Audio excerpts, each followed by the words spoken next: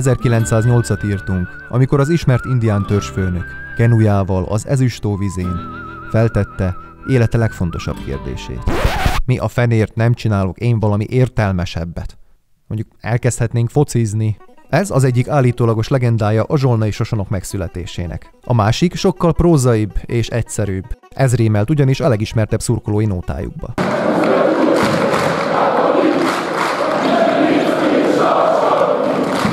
Szóval 1908. június 20-án helyiek egy csoportja úgy határozott, hogy megalapítják a zsolnai testgyakorlók körét. A csehszlovák élvonalban az 1945-46-os szezontól szerepeltek. Itt legnagyobb sikerük az 1961-es Kupa ezüstérem, aminek révén először mutatkozhattak be a nemzetközi porondon. 1974-ben bejutottak a Közép-Európai Kupa döntőjébe, ahol a címvédő tatabányai bányász győzte le őket. A csehszlovák időktől számítva a Zsolnai klub a DAC egyik hagyományos ellenfele. Történelmünk egyik fontos mérföldköve is hozzájuk kapcsolódik. Majoros György révén épp ellenük szereztük meg első élvonalbeli gólunkat, ami egyben az első élvonalbeli győzelmünket is jelentette.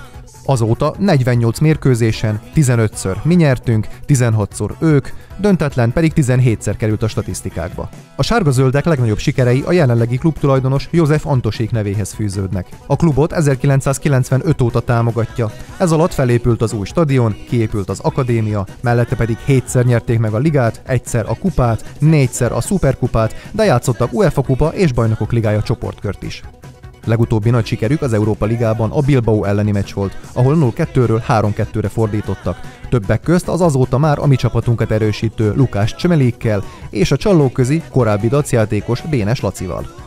A zsolnaiak ellen rendre jó iramú, izgalmas meccseket szoktunk játszani, és az utóbbi időben általában nekünk kedvező eredmény is született. Külön érdekesség, hogy a zsolnaiak már 2016. októbere óta nem tudtak győzni ellenünk. Reméljük ez a szombat délután követően is így marad. Számunkra nagyon fontos meccs lesz ez, hiszen a zsolnaiak három pont előnnyel a másodikok. És bár az utolsó két ellenfelünket nem sikerült két vára fektetni, most szombaton szurkolóink segítségével megmutathatjuk, hogy együtt milyen nagy erőt képviselünk, és megszerezzük a zsolnaiak skalpját.